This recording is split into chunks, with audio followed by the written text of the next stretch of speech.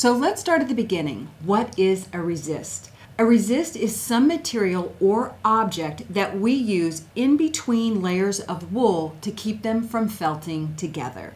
A resist could be a flat piece of material or it could be a 3D object such as a jar, a bowl, a balloon, or even one of our wet felting balls. Just keep in mind that the main goal is to prevent the wool fibers from felting together so that you can get the end shape that you want for your project.